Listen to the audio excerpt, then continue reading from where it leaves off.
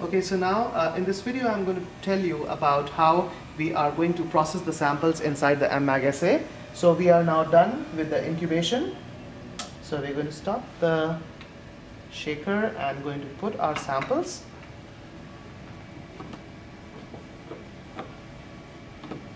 on the rack, the 50 ml rack.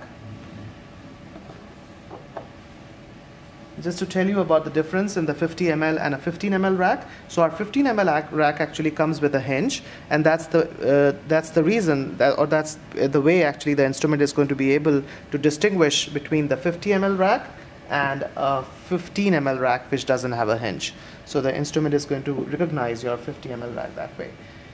Okay, moving on, we are just going to open the tubes.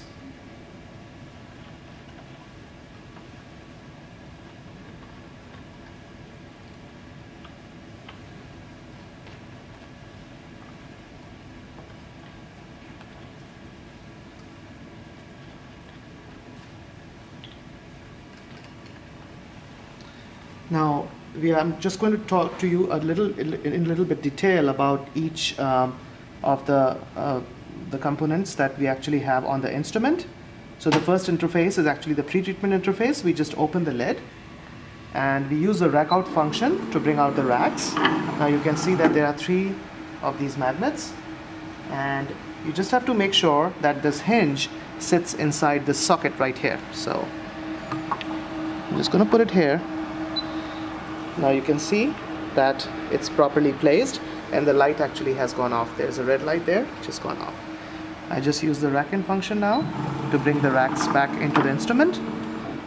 I close the lid, after which I'm just going to come to the processing interface where you're going to process your samples. Now you basically have to tell the instrument how much is the settled beads volume that you are using in the tubes. So suppose if we say that it is 1 ml you just enter that 1 ml right here. The wash one. And then sorry I have to select this first. I did a mistake so. Okay so uh, I'm just going to uh, so this uh, is the so you can basically select and deselect using just one touch. So if you just select that you can see that uh, the entire uh, rack is selected. Same goes for the B1 and for all also you can use this function. So for this one I'm just going to select this one and then suppose this is 1 ml settle beads then we will suppose we just have to use 10 um, MV so MV here corresponds to the CV that is the column volume uh, in the case of the chromatography system. But here since we are using magnetic beads we have magnetic beads volume. The elution volume for this one can go up to um, maximum or minimum of uh, 2 uh, ml so and that's the reason I just selected two. And uh, for this run we can actually I'm just going to select just one cycle for each but you can always change it to as many cycles as you want. So we will have one cycle for wash 1 one cycle for wash 2 and then one cycle for the elution. So you basically have um, uh, set up once you set up this protocol you just have to hit start. And now the instrument is actually going to tell you that this is the amount of buffers that you are going to require for the entire run, including the dead volume. So if, if you just have to manually check that you have enough buffer in your bottles, and once you make sure that there is enough buffer, you just start.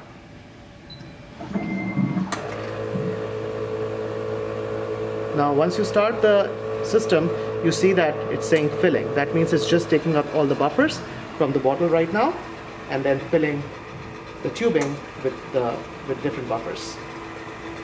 It's also washing your wash station which is located right here and you can see that uh, it's having nozzles and is having a wash station right here. So your nozzles are being washed at this time.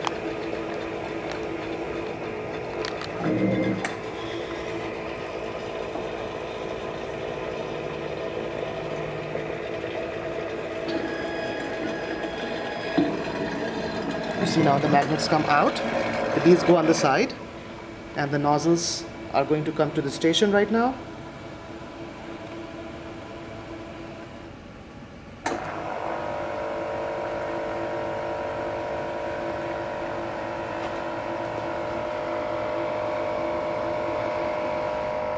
Thank you.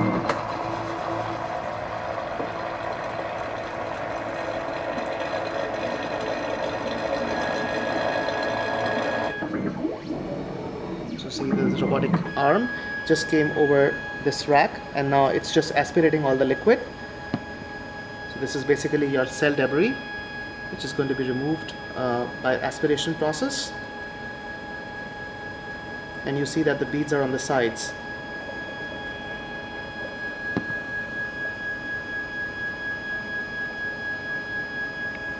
Now, irrespective of whatever volume of liquid you have, the uh, this software actually is designed in such a way that it is going to take out all the 50 ml irrespective of the volume inside the tube.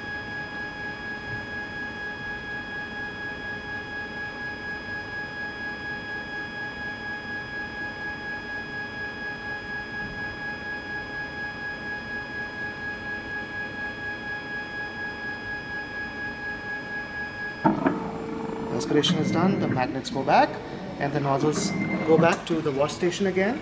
Since this was in the cell debris, it is going to get washed in the wash station using the PBS.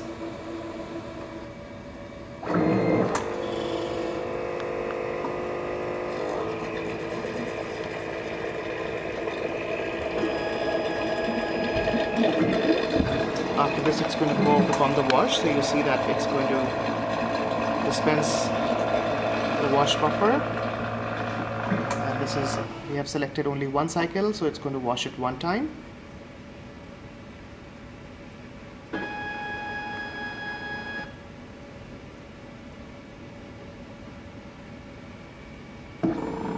magnets come out and the beads go on the sides and again the liquid is going to be aspirated to remove any cell debris that is now mixed with the buffer, the wash buffer. And you can see the status here that it says now wash 2 cycle 1, wash 2 dash 1. Your nozzles are being washed at the wash station